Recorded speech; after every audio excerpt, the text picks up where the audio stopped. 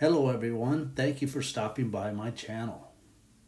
I'd like to thank all my subscribers for helping me reach the milestone of 101 subscribers. Thank you my friends for all of your encouragement and support and help in building my channel.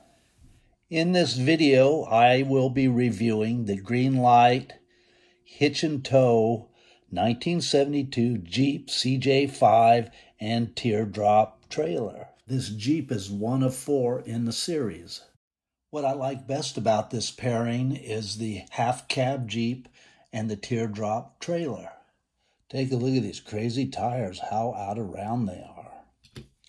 I'm not sure if they came from the factory this way or got hot in the distribution chain and melted. Can you imagine driving down the road on tires like that? Greenlight has put a lot of detail on this casting from the side markers front and rear to the Jeep with the AMC logo right below it. This casting looks great with the clear headlights and the amber lights on the front. The door handles are raised and painted black. And the taillights are also raised with the red brake lights and the clear backup lights. I don't know what that silver one is. This casting has a metal body and a metal base that has some detail on it and a really robust looking trailer hitch. And the uh, top is plastic, of course, but it's well done. And also, it has really nicely done painted windshield wipers. And the top is removable.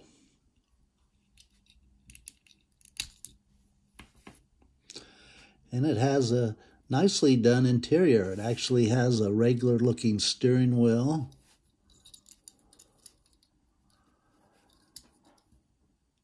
And you can see the shifters. There's a transfer case shifter on the floor. I don't know if you can see that. And a well done dash. It even has the bar over the glove compartment for the passenger to hold on to when the going gets rough.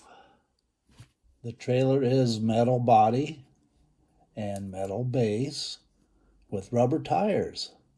And the trailer hitch is metal also. Very fine detail around the doors. And it has the tail lights.